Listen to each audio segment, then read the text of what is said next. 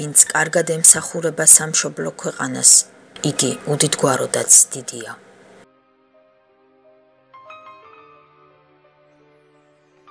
აწმყოს, რომელსაც წარსული არ აქვს, არც მომავალი აქვს.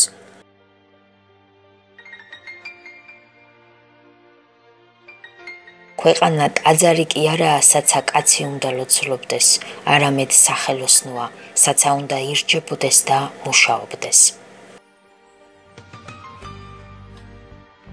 გახსოვდეს, რომ ქვეყანაზე ქაღალდის გარდა არის კიდევ სინდისი.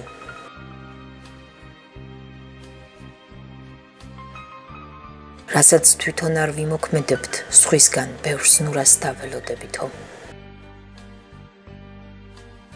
ქვეყანა იმით კი არ არის უბედური, რომ ღარიბია, არამედ იმით, რომ წოდნე, გონება გახსნილი, გულანთებული კაცები არ აღყავს.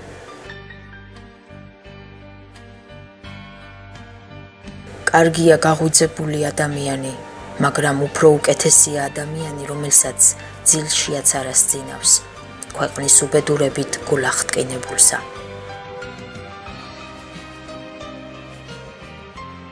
სხვა შენთვის და შენ სხვისთვის. აი გზა ცხოვრებისა.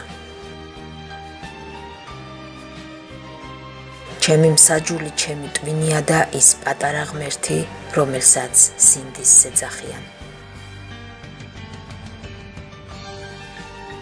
ხელი მიეც შენს მეზობელს.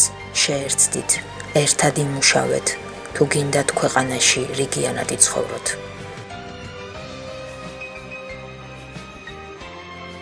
კაცად მაშინ ხარ საქები თუ ეს წესი წესად დარგე. ყოველ დღესა შენს თავს კითხოაბა, დღეს მე ვის რა ვარგე. რაც გინდა პატარა იყოს სამშობლო ქვეყანა, პატიოსანს გულში დიდი ადგილი უჭირავს.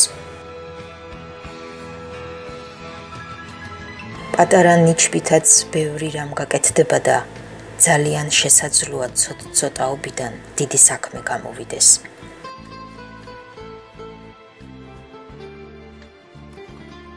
სხვაზე მინდობა ქვიშაზე დაშენებული შენობა ყოფილა და იქნება კიდეც ამ ქვეყნიერებაში.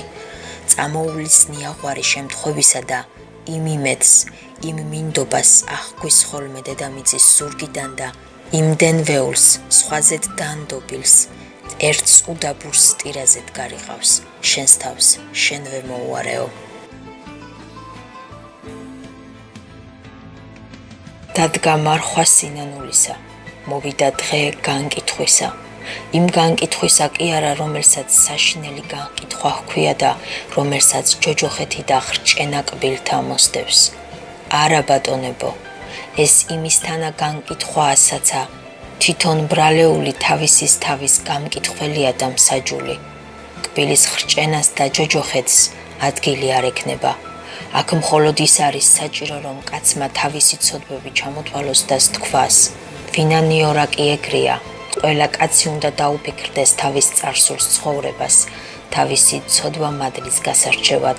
თუ სურს ქრისტიანული წესი აღასრულოს და დროსინანულისა ყოველ უბრალოდ არ გააქარწყლოს.